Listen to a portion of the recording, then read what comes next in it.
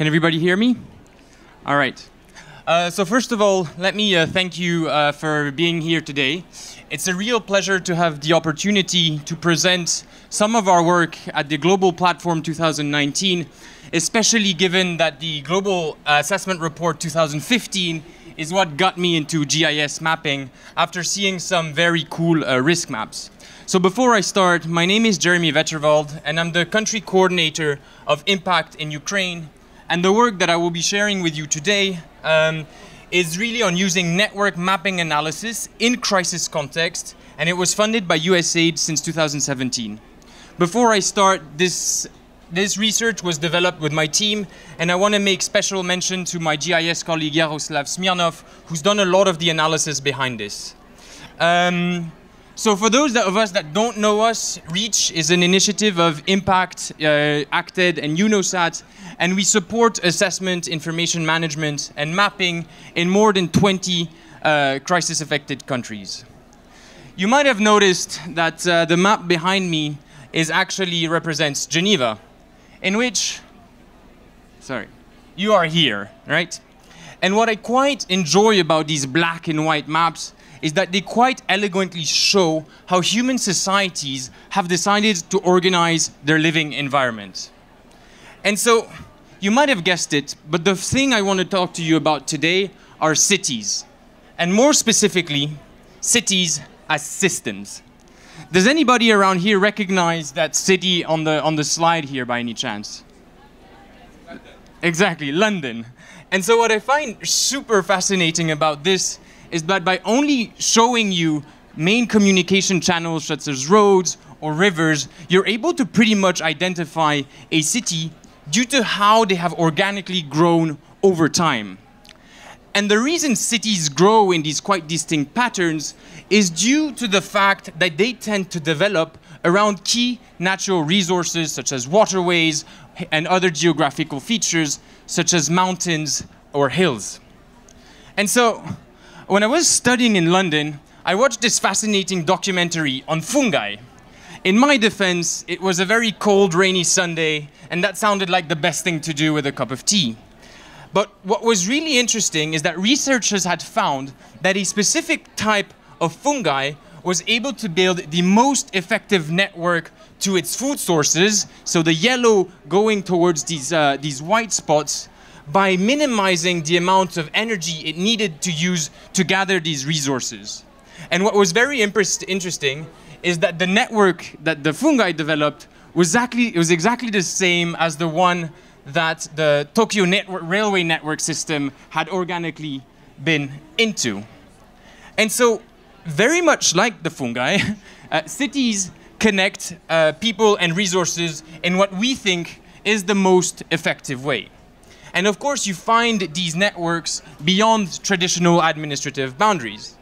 And so, for example, I found this very interesting map from, from researchers at EPFL uh, that really showed that cities like Geneva, Lausanne, Zurich attracted commuters from beyond their boundaries.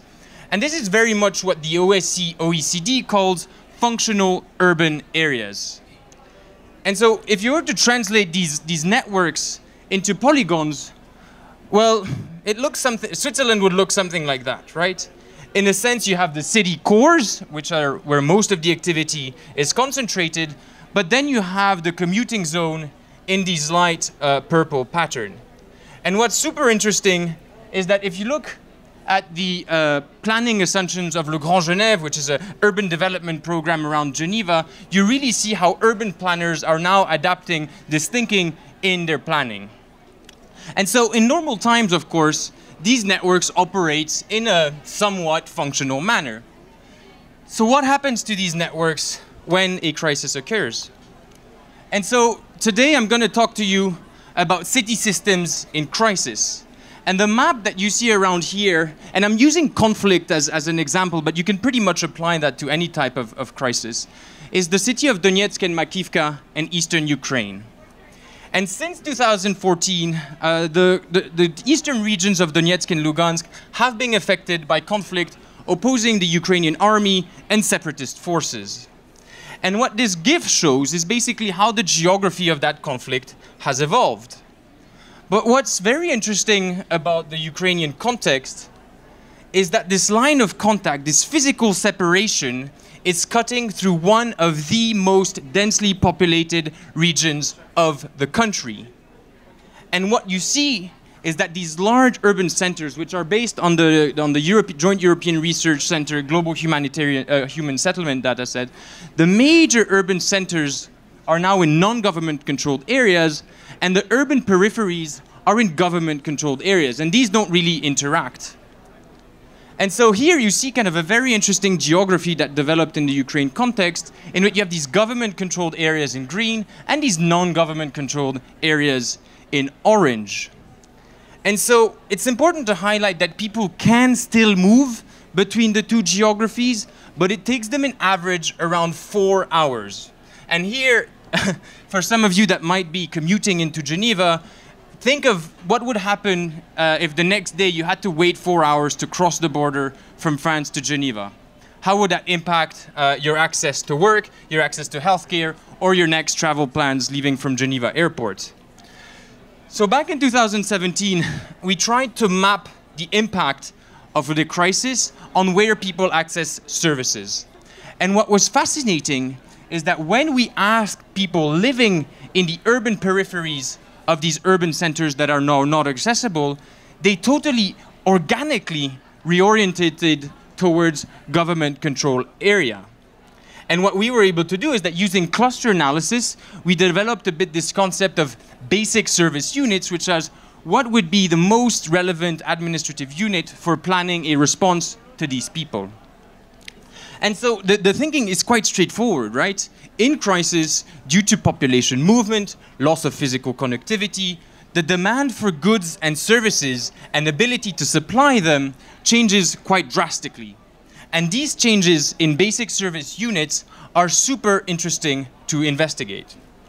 So that's what we did, basically. Uh, so the big question was how do we somehow uh, quantify these dynamics? And so what we came up is, of course, not a solution, but an interesting area of investigation. So in 2018, we started map. We started to zoom in in one of these administrative areas in the periphery of the largest city in Donetsk.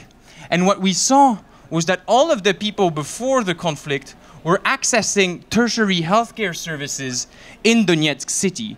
And so that means there was about 20 settlements that went that were dependent on Donetsk to access their services. But then when we asked where do you go now to access your services? You see that only four persons or four settlements, people from four settlements, were able to access services in Donetsk city. And, and what's really, what's super interesting is that by putting these two maps together, you're able to map these dynamic changes in, in basic service units. And you saw that kind of before the main hub was Donetsk, but now most people go to the small town of Kurakhove. And to give you a sense of scale, this town is about 20, is, is, has a population of 23,000 people. And so one can only wonder how, how are the health facilities in this city of 23,000 people coping with that extra demand and with that new reality? But we did not stop at healthcare only. We looked at, of course, employment markets. And so very like very in very similar dynamics as with the healthcare systems, we saw that about 23 settlements were depending on this large urban center for employment. Can anybody guess how much it was back in 2000, now in 2018? Well, the answer is zero. Nobody now commutes to Donetsk to work. What are the consequences of that on your employment, on your household economic security? Um, and, and all of these dynamics have major implications on every aspect of development, including planning, job creation, education, healthcare, governance, financial services. And so to try and quantify a bit that impact on service delivery, uh, we looked, we, we, we tried to evaluate what was this change of catchment area in terms of overall population. I'll give you the example. What we were able to do is basically using different methods of population estimation, we estimated that there was about 98,000 people that were dependent on Donetsk city for accessing their healthcare services. Based on the new network analysis, we found that this, this population within that catchment area was about 886,000. So on one hand, you're seeing a decrease of about 10% in the overall potential caseload of the city of Donetsk. Now, um, sorry. And on the other hand, the population in the city of Kurakhove, this new hub that had developed, pre-conflict, we estimated that there was about 40,000 people living in the catchment area of the healthcare facilities in Kurakhove city. But now, in 2018, that population rose to 47,000 people. And that's an increase of 17%. So, of course, there are many limitations to what we have done. Huh? A lot of the population a lot of the population data relied on pre-conflict population data we looked at settlements very much as one unit. So that means that if one of the members of the population was going to that specific settlement, we incorporated all the settlements within our calculations. Um, and also, it requires a lot of data. So we did household surveys and key informant interviews. So it's quite logistically and data from a data collection point of view, it's actually quite heavy. So what we're trying to do now is looking at automation process or looking at ways we can try and, and define these commuting patterns using different ways of, of, uh, of analysis. But on the relevance of this type of approach, is that really it identifies the most relevant geography based on service delivery and not administrative units.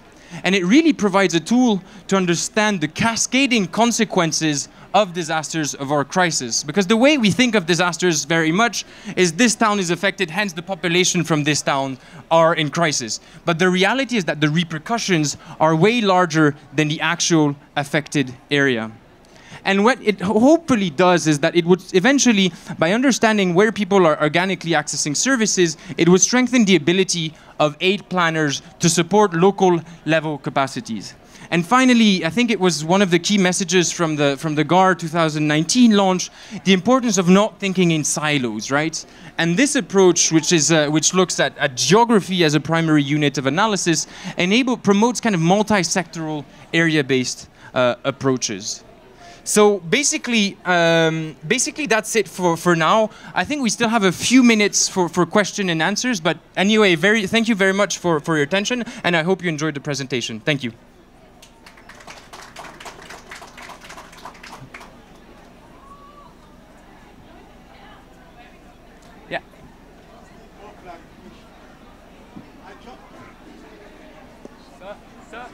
I, it's, it's okay, I, I can hear you.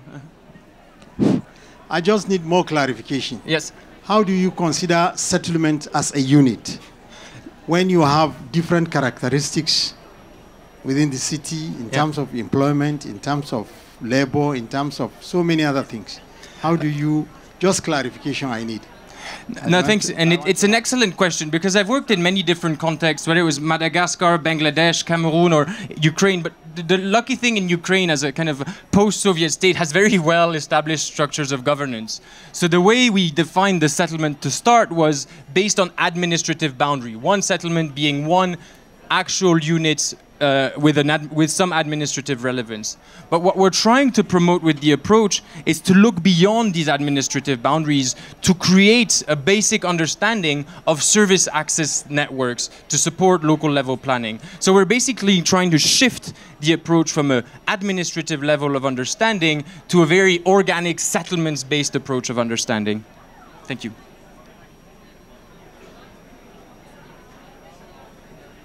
All right. Well, thank you very much, and I hope you enjoyed it.